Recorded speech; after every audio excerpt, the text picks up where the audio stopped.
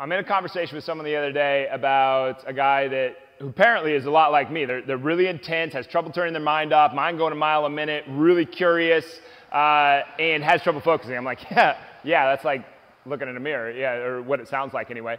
Now, the way that they had come to grips with it was by using drugs. And my first question was like, why not? Have you tried meditation?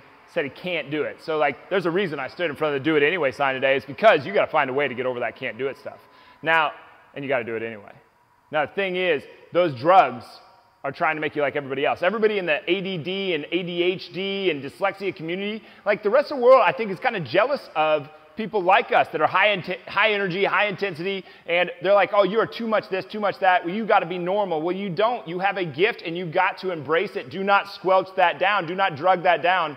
Embrace your power. You are powerful.